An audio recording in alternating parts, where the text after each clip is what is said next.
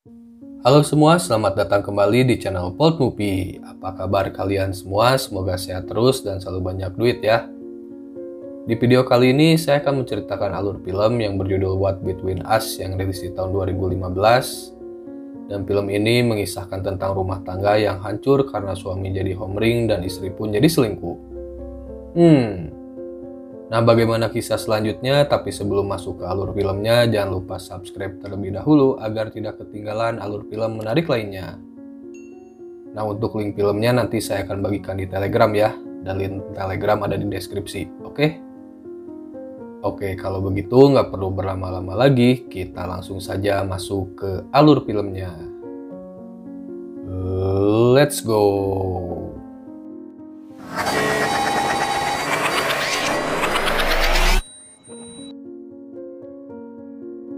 Scene diawali dengan diperlihatkannya sebuah keluarga yang baru saja datang ke rumah barunya. Nah, nama suami di keluarga tersebut bernama Frank, sedangkan istrinya bernama Alice. Dan mereka berdua ini sudah memiliki tiga orang anak yang bernama Dario, Nina, yang paling kecil bernama Sophie.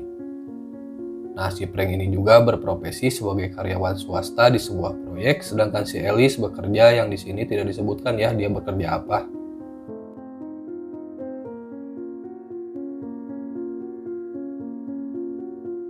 Lalu singkat cerita mereka pun sudah merasa betah tinggal di rumah barunya namun tiba-tiba si Frank bilang kalau dia ingin meluangkan waktunya untuk sendirian. Nah di sini si Alice masih mengira kalau si Frank ini stres dalam bekerja sehingga si Frank butuh healing ya. Nah di keesokan harinya sebelum pergi si Alice pun mengajak dulu pabelit betis kepada si Frank namun si Frank lagi gamut untuk pabelit betis. Hmm, Lalu di siang harinya si Alice pun kaget ketika ngelihat komputernya ada yang sudah membuka situs buat penyuka sesama jenis. Dan si Alice pun bertanya kepada anaknya yaitu si Dario apakah dia yang membuka situs tersebut. Dan si Dario pun menjawab dengan santainya kalau dia sama sekali tidak melakukan hal tersebut. Hmm. Lalu di malam harinya si Alice yang khawatir pun bilang kepada si Frank kalau di komputernya ada yang udah buka situs kencan sesama jenis. Nah mendengar hal tersebut, si suami pun sedikit kaget, namun dia langsung pura-pura ngantuk dan tidak mau ngebahas hal tersebut.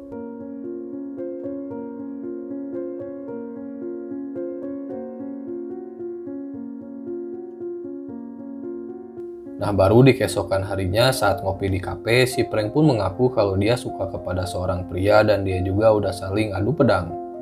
Wih, Nah di situ si Alice pun merasa terpukul karena dia seperti tidak dianggap oleh suaminya sendiri.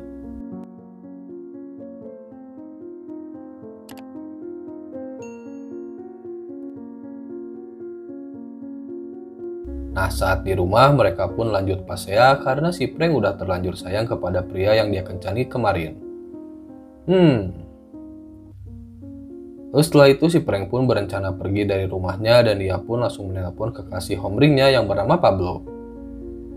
Nah pembicaraan mereka pun sempat didengarkan oleh si Alice dan ketika si Frank udah pergi kerja, si Alice pun ngecek lagi PC-nya dan dia pun menemukan video si Frank yang lagi dansa dengan si Pablo. Hmm,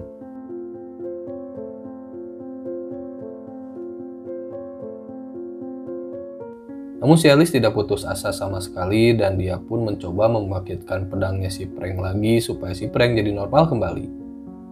Namun sayang si Frank udah terlanjur ketagihan sama si Pablo. Nah dengan situasi tersebut rumah tangga mereka pun jadi semakin berantakan yang akhirnya si Frank pun rela meninggalkan keluarganya demi si Pablo.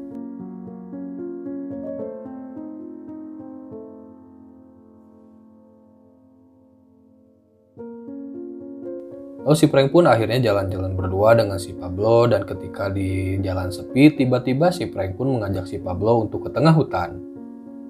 Dan ternyata mereka mau adu pedang dulu ya. Eh anjir. Di pihak lain si Alice yang lagi galau parah pun masih percaya kalau si Frank masih mencintai dirinya dan suatu hari nanti akan pulang kembali kepada keluarganya. Dan dia pun jadi sering curhat sambil kuku lutus kepada temannya yang untung saja temannya tersebut baik banget mau dengerin curhatannya si Elis meskipun si Elis suka marah-marah.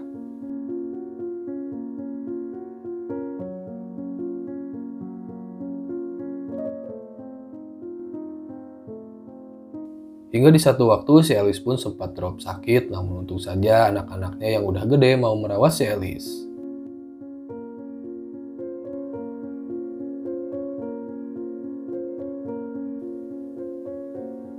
Lalu setelah sembuh, si Alice pun datang ke sebuah kafe miliknya si Pablo dan dia pun melihat foto-foto si Pablo bersama si Frank yang dipajang di depan tokonya. Namun di sini si Pablo nggak tahu ya kalau si Alice ini istrinya dari si Frank. Nah setelah dari kafe si Pablo, si Alice pun jalan-jalan sendirian agar tidak stres di rumah. Dan dia juga menyibukkan diri dengan mendekorasi ulang rumahnya bersama anak-anaknya.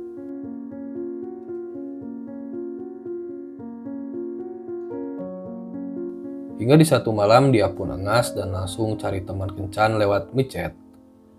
Dan di keesokan harinya, si Alice pun langsung ketemuan dengan seorang duda di pinggir kafe dan setelah itu si Alice pun ngajak si duda tersebut ke rumahnya dan mereka pun Hmm.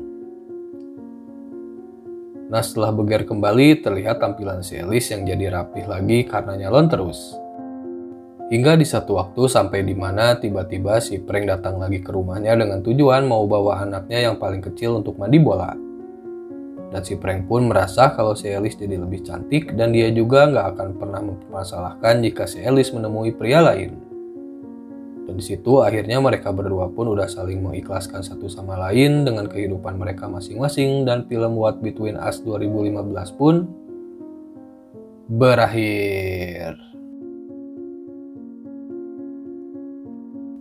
Oke, segitu dulu alur cerita film What Between Us 2015 kali ini. Terima kasih bagi yang sudah menonton dan mohon maaf atas kekurangannya.